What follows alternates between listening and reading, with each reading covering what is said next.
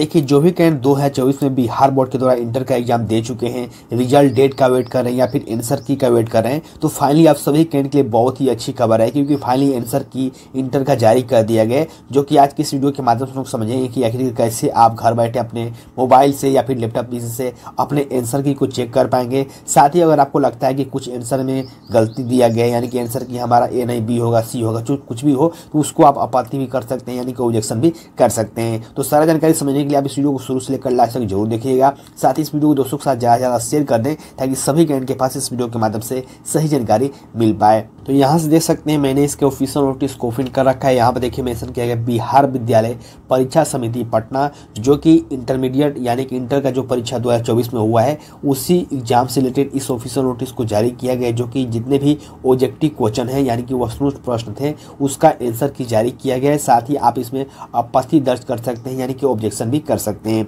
अब यहाँ पर देखिए नीचे आने के बाद यहाँ पर मेंशन किया गया कि जो भी अभी ऑब्जेक्टिव क्वेश्चन आपके एग्ज़ाम में पूछे गए थे, उसका आप आंसर की चेक कर सकते हैं, कैसे चेक करना होगा। यहाँ पर देखिए इन्फॉर्मेशन दिया गया है कि आप यहाँ पे इसके official website Bihar board online dot Bihar dot government dot in पर बीज करके जो है, आप अपना आंसर की डाउनलोड कर सकते हैं।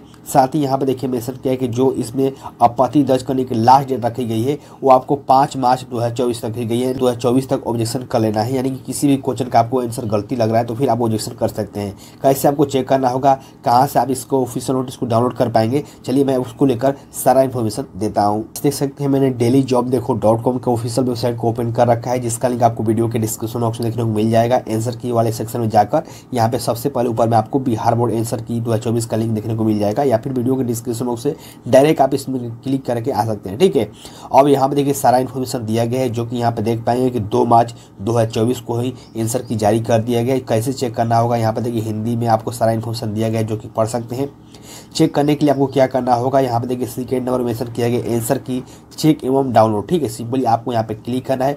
क्लिक करते ही जो है आपका ऑफिशियल वेबसाइट ओपन होकर आ जाएगा। देखिए, मैं आपको एक बात इंपॉर्टेंट बता दूँ कि देखिए, नोटिस आपको जारी कर दिया गया कि दो मार्च से ही आपका जो है आंसर की जारी कर दिया जाएगा। लेकिन जब मैं आपको वीडियो रिकॉर्ड कर रहा हूँ, सुबह के साढ़े नौ बज रहे हैं, लेकिन अभी लिंक एक्टिव किया नहीं गया है। जैसे ही लिंक एक्टिव किया जाएगा, सबसे पहले मैं आपको टेलीग्राम ग्रुप और व्हाट्सअप ग्रुप में आपको अपडेट कर दूँगा तो आप ग्रुप को ज्वाइन कर लीजिएगा। हालाँकि देख सकते हैं कि बहुत ही यहाँ पे जो साइट है बिहार बोर्ड का स्लो है, क्योंकि अभी अभी आंसर की जारी किया गया इसी को लेकर मुझे लगता है कि इसका साइट स्लो हो सकता है, लेकिन आंसर की आज यानी कि दो मार्च दो हज़ार चौबीस से आप डाउनलोड कर सकते हैं। इसको लेकर यहाँ पर देखिए सारा इन्फॉर्मेशन दिया गया जो कि यहाँ पर देख सकते हैं, इसका ऑफिशियल जो है साइट ओपन होकर आ गया ठीक है? अब देखिए आपको कहाँ से चेक करना होगा? यहाँ पे देखिए सबसे पहले यहीं पे आपको देखने को मिलेगा, हाल के अभी लिंक एक्टिव किया नहीं गया है। एक दो घंटे में या फिर आधा घंटे में एक्टिव हो जाएगा तो आप इस वेबसाइट के माध्यम से चेक करते रहिएगा, जैसे ही लिंक एक्टिव होगा, आप टेलीग्राम ग्रुप को ज्वाइन कर लीजिएगा, वहाँ पर मैं आपको अपडेट दे दूँगा, ठीक है?